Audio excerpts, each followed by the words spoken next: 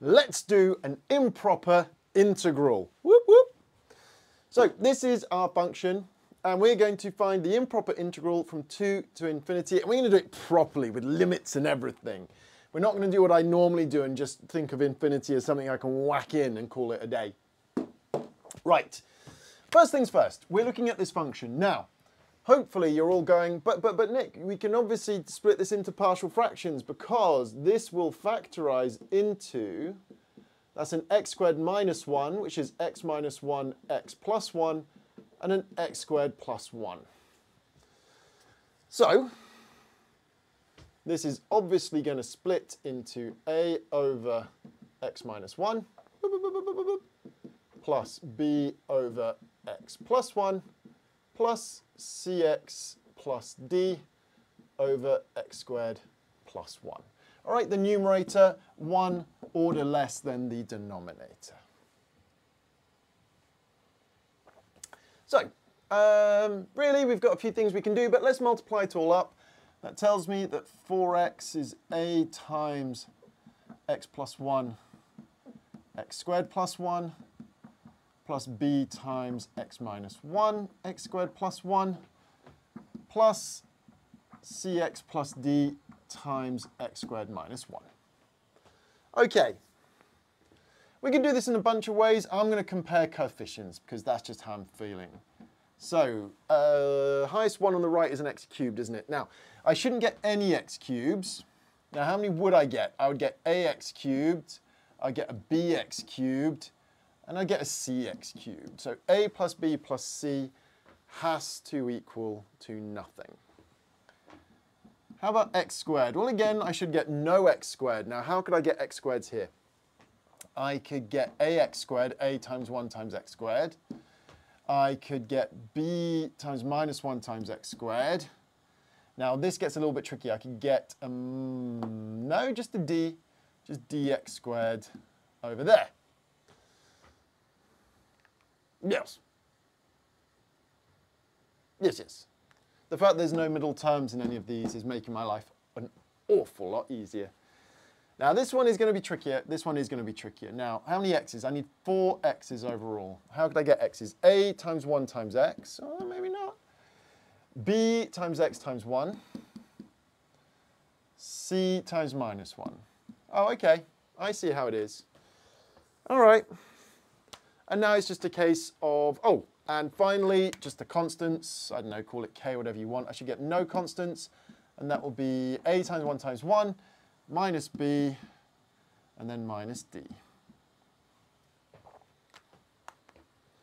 So I don't know. Um,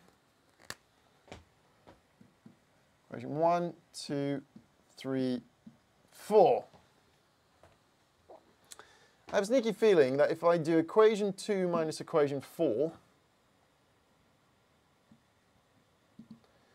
I will get 0 is nothing, nothing is equal to 2d, which tells me that d is 0. And then equation 2 will therefore tell me that a is equal to b. Um,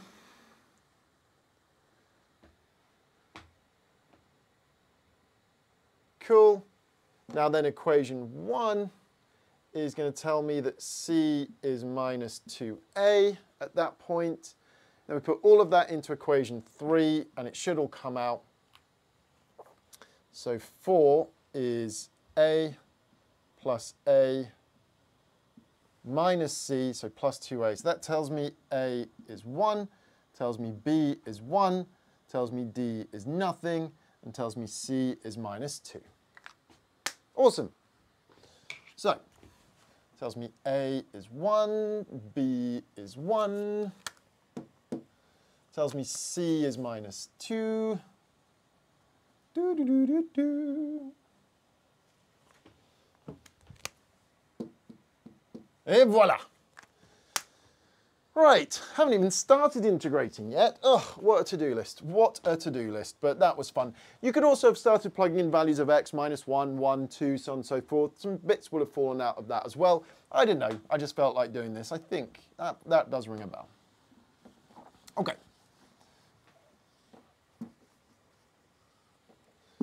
So now, what we need to do is integrate this stuff. Now we're going to go from 2 to a, right? And then we will let a go to infinity, but this is going to be useful for us as a result.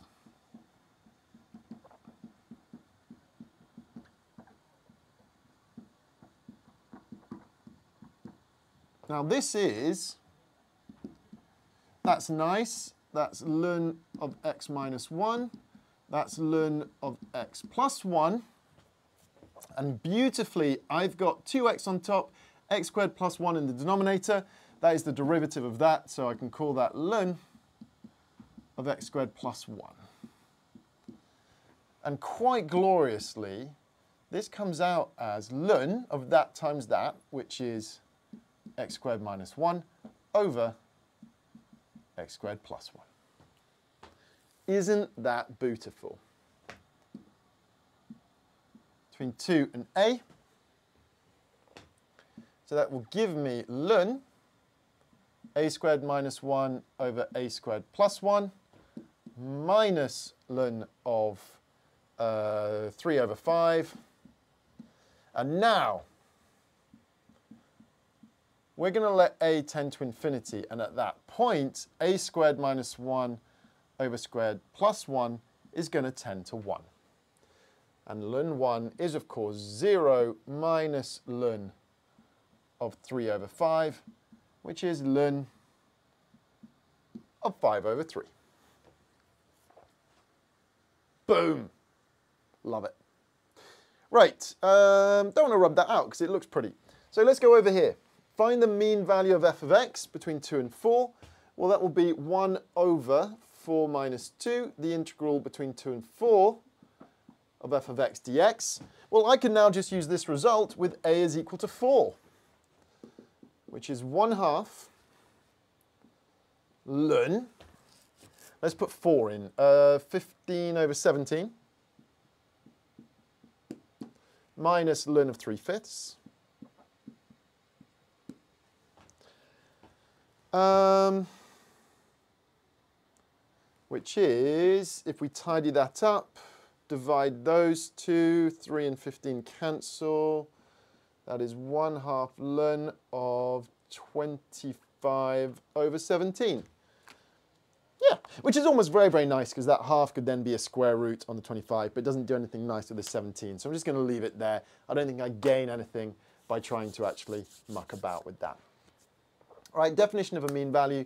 But here, the nice thing uh, about having done this properly with the upper limit of a and then playing around with a is I'd already done most of the work for this point here. Nice. Little bit of improper integrals and a mean value there. Good, clean family fun for everyone. If you find my content useful, uh, educational, I don't know, it brings you joy in life, and you've got some exams coming up.